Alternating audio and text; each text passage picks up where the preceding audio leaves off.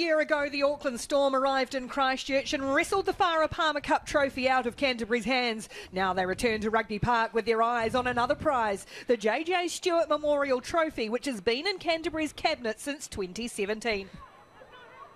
In goes Nicole Purdom and finds the target nicely. It's Niau in the middle. And Canterbury's line out functioning well early on as Purdom's got it tucked in the back, not making any ground though, so Lynch Brown has to clear away, and away comes Taylor Simpson to the line.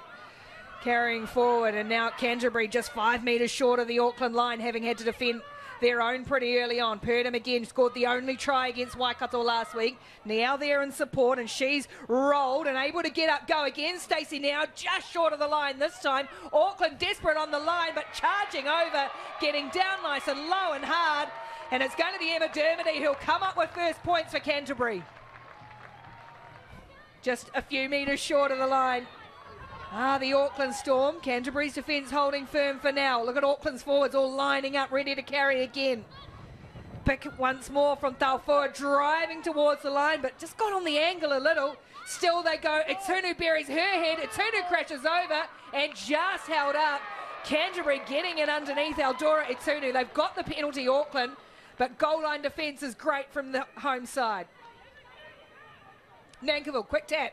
Goes herself, Dana Nankivell. She oh. crashes over at the second time of asking. Auckland do get their try, and it's Dana Nankivell to secure it for Auckland. Plenty of work, but the game smarts here of Dana Nankivell. She's been busy this year, real leader in the team.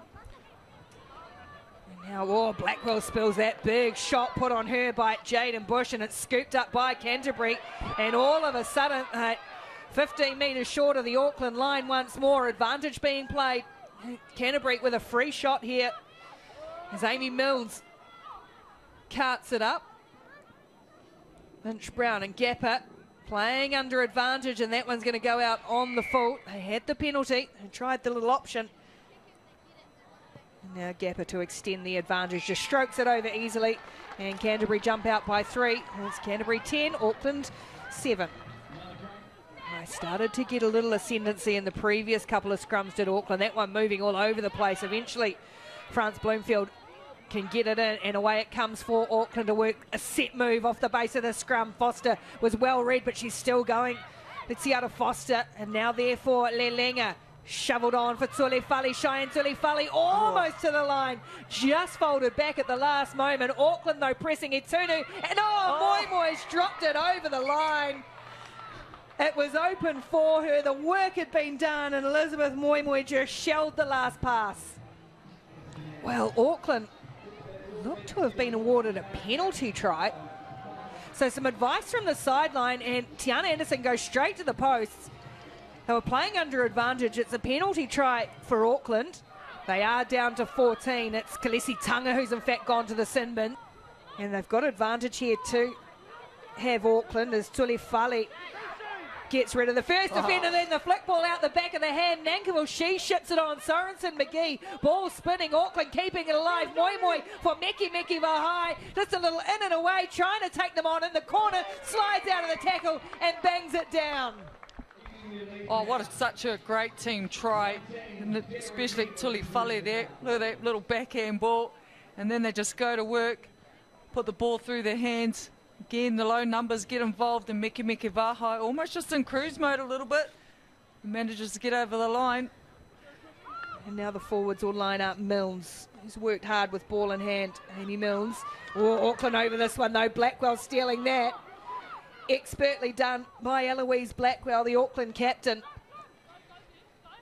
And now again, they look to release down the edge. One-handed offload for Mickey Mickey Vahai. And now she does look to accelerate away. Just dragged down. Ball back in field for Moi Moi is a good one. And now Canterbury find themselves tracking backward. Mickey Mickey Vahai getting more and more involved. Just losing some ground, though, under the attention of Neo as Canterbury try and blow through Bloomfield for Moi Moi, who seems to be in everything at the moment. Elizabeth Moi Moi spins out of one, then tries to run over the top of Ryan, who did well as a bit of a speed bump. And Auckland have the penalty. Dragged down tackles just when they needed, but they have to make some more defensive plays here. Will Canterbury as Auckland now Again, Moi Moi peels away for Blackwell. And this is where they've been really dangerous. Ball in hand, they've kept it alive well. Blackwell able to get up, go again. Canterbury under pressure with under a minute to go in this half. Auckland with a stiff wind that they are playing into as well, looking to extend this lead. Taufua will pick and go again. Over this one is Tanga, and she'll concede the penalty. Just lost her feet. Tap and go from Moi Moi once more, crashing over and down as well. Well, uh, she's been in the thick of everything and now gets the try as well. Elizabeth Moimoi will extend the advantage for Auckland going into half time. A very deserving five points for Elizabeth Moi Moi. She started with a block-busting run down the field earlier and then just powers over the line, charging at the Canterbury defence there. Just dragged down again short. Lynch Brown looking for her forwards, dragging the next one in. It's Tunga this time. She's just short. Auckland defending their line, but Canterbury pressing here deep in the half.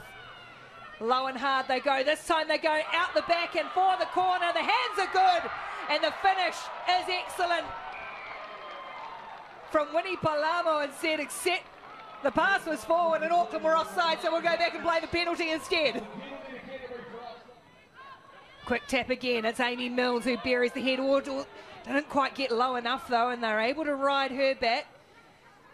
And now it's Bush. She's low and hard towards the line. Jaden Bush just short. Canterbury, they keep coming wave after wave at Auckland. Bayfield is almost there. Auckland's defence on the line is impressive so far. Short this time. Still no way through the Auckland line for Canterbury. Once more, this time Mills is there, this time Mills is over, and they've held oh. her up. What defence under pressure on the line from Auckland. Just on the stroke of half time, Canterbury get nothing from it. And it's Auckland who will go into the halftime sheds with a healthy lead, 26 points to 10 over Canterbury. It is Braxton Sorensen McGee who will get the second half underway. Round three of the Farah Palmer Cup as Canterbury make a mistake straight off the bat. it's one of their most experienced players, Te Rauoriwa Gapper, is going to hand possession to Auckland straight away to start the half. France Bloomfield to feed the scrum right on the Canterbury 22. Just seconds into this first half. And look at Auckland scrum marching forward. Now they're able to release their backline. Right now, Kelly gives it off to Nankivell. Sorensen McGee up into the line. Nankivell held it and just held it up enough for Sorensen McGee to able to get along to the Ocean Mile.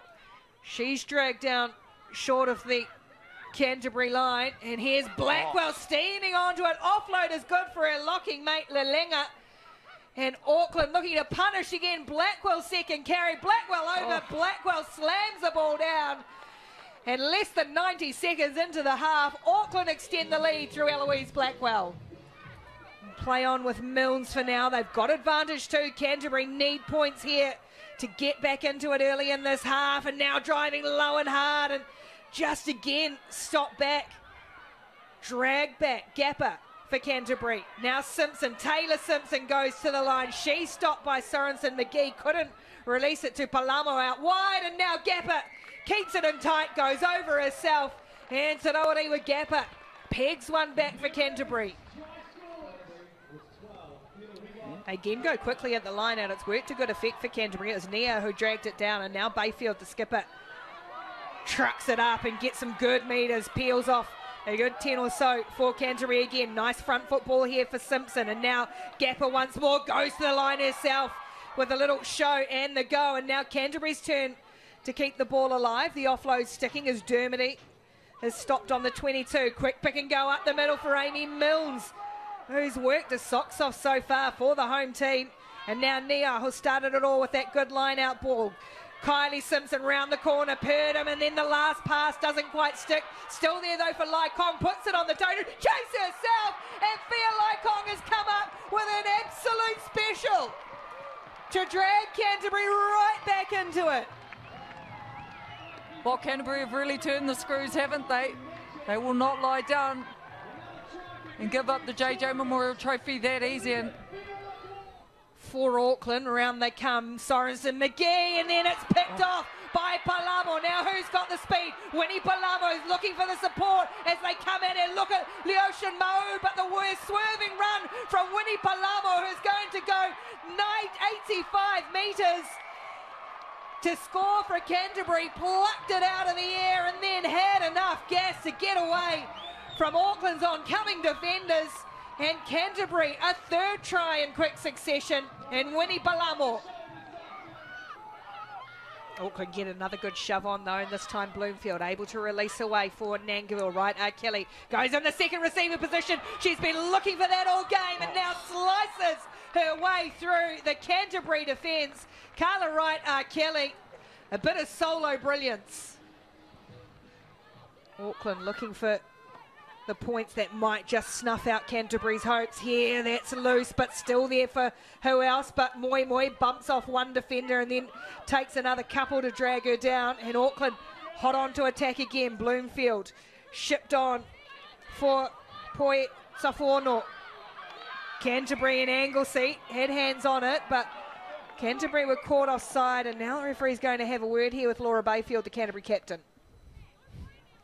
Auckland have had two unsuccessful challenges for the JJ Stewart since they lost it in 2017. But this kick here from Braxton Sorensen McGee might just start to put Auckland out of reach. And well, we said it earlier, there was maybe one hand on the trophy. It's maybe one and a half now as Auckland go out to a 42 points to 27 lead. And for the first time since 2017, the JJ Stewart Memorial Trophy will leave Canterbury hands. And just like the Farah Palmer Cup Trophy, it is heading north to the Cabinet of Auckland.